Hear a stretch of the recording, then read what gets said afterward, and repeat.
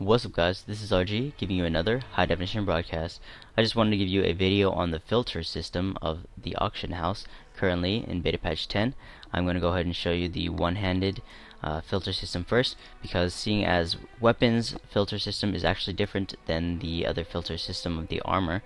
If you guys want to search for say uh, elemental damage, the elemental damage is working and all the elemental damages are actually working the uh, one thing that I wanted to tell you about guys about is the thing that is not working is attack speed and uh, other certain things like this is uh, actually not working. If you wanted to look for attack speed uh, you couldn't filter for that. But if you wanted to just search you can actually see that there is attack speed items on the auction house right now. So certain filters are working and certain filters are not working.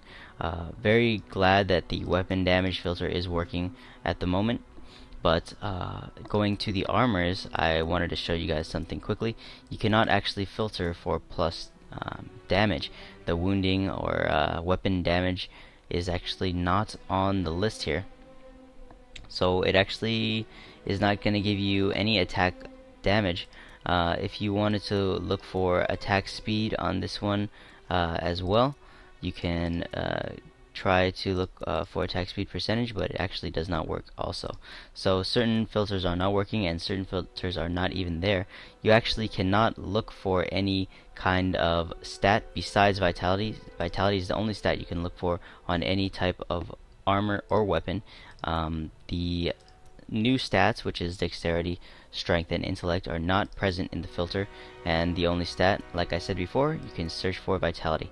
So I just wanted to give you guys that quick update on the filters, and some it's partially working, and I'm I'm actually glad that they are putting some effort into the filters for this patch, and uh, it lo it's looking good so far. I just uh, want to see that dexterity, strength, and intellect. That would be great and uh, it would it would help um, with the filters and help get people in and out of the auction house faster. So that's about it for this video guys. Thanks for watching and take it easy. Peace